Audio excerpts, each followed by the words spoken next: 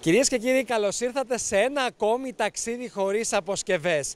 Με ορμητήριό μας στις πηγές Κεφαλαρίου θα προσπαθήσουμε να καταγράψουμε όμορφες εικόνες αλλά και την ιστορία του τόπου, ε, της ευρύτερης περιοχής του Δήμου Δοξάτου. Σε απόσταση 10 χιλιόμετρων από την πόλη της Δράμας βρίσκεται το Δοξάτο, όπου δεν υπάρχει Έλληνας που να μην έχει ακούσει κάτι, έστω και μία φορά, για την όμορφη αυτή πόλη της Μακεδονικής γης.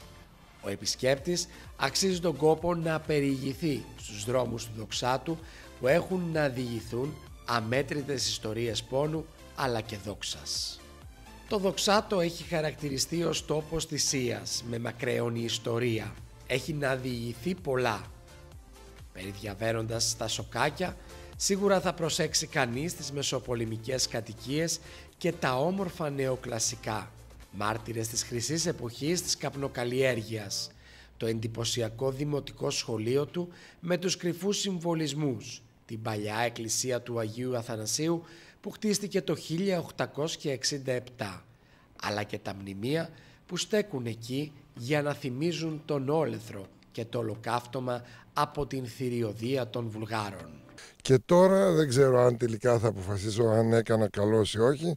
Ε, ζήτησα να ασχοληθώ με το Δήμο σε μια προσπάθεια αν μπορώ να προσφέρω κάτι σε ένα Δήμο ο οποίος πραγματικά είναι ιστορικός και γιατί έχει το μαρτυρικό δοξάτο και γιατί έχει τις μαρτυρικές πόλεις όπως είναι το δοξάτο και τα Κύρια αλλά και γιατί είναι ένας Δήμος ο οποίος έχει ανθρώπους οι οποίοι είναι εργατικοί, είναι φιλόξενοι είναι άνθρωποι οι οποίοι έχουν μεγάλη πίστη και αγάπη στην παράδοση και όλα αυτά είναι θέματα τα οποία μου αρέσουν και με τα οποία ασχολούμαι. Είναι ένας πληθυσμός...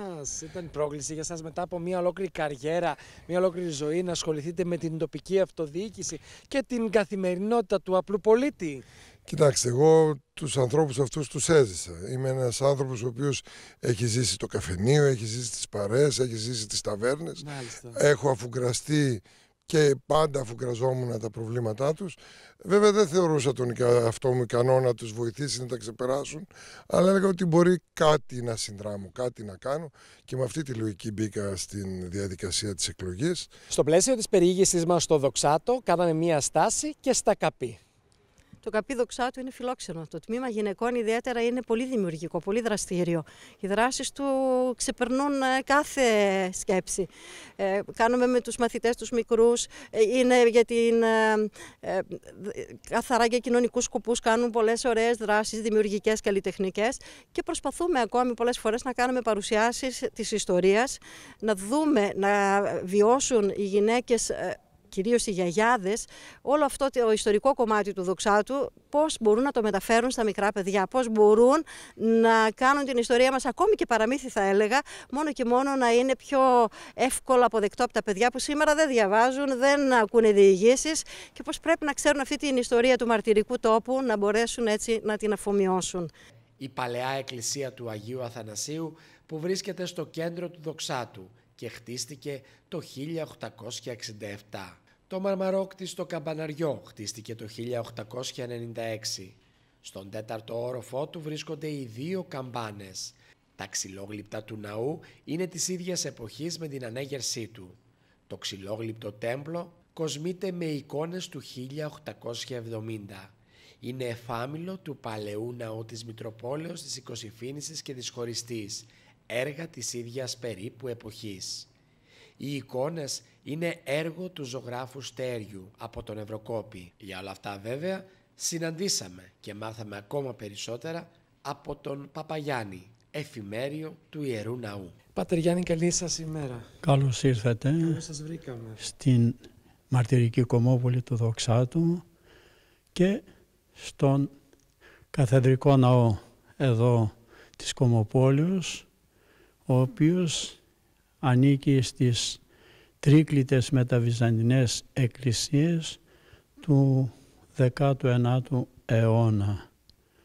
Είναι κτίσμα του δευτέρου μισού του 10ου αιώνα, 19ου αιώνα και από μια ενθύμηση που βρέθηκε σε ένα Ευαγγέλιο εδώ του ναού του 1860 αναφέρει μια, ένα χειρόγραφο κείμενο ότι θεμελιώθηκε το 1864 και αποπερατώθηκε το 1868.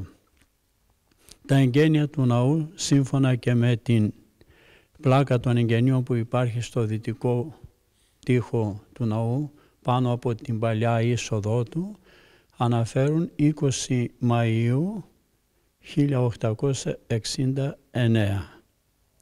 Αλλά και οι εικόνες του τέμπλου μαρτυρούν ναι. ότι είναι της εποχής εκείνης, γιατί όπως θα δείτε κάτω στις ε, αφιερώσεις αναφέρεται το έτος 1870 σε όλες τις δεσποτικές εικόνες.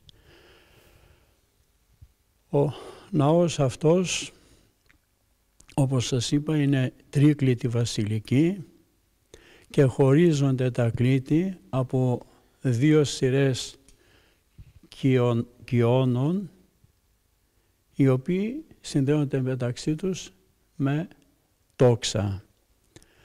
Οι κύονες αυτοί απ' έξω φαίνονται έτσι σαν να είναι μαρμάρινοι, ενώ στην ουσία είναι ε, κορμί δέντρων, οι οποίοι επενδύθηκαν με Μπαγδατή και στη συνέχεια σουβαντίστηκαν, επιχρήστηκαν και φτάσαν σε αυτό το σημείο το ό,τι και να πούμε... ηρωικό, το μαρτυρικό δοξάτο που όπως το λένε οι άλλοι, δεν το λέμε εμείς, αν θα διαβάσει κανείς έντυπα και έγγραφα ιστορικά θα δει ότι είναι η ιερή πόλη της Μακεδονίας που δεν τη ζήτησε ποτέ κανείς συγγνώμη. Το γράφει το περιοδικό γιατί, το σεραϊκό γιατί.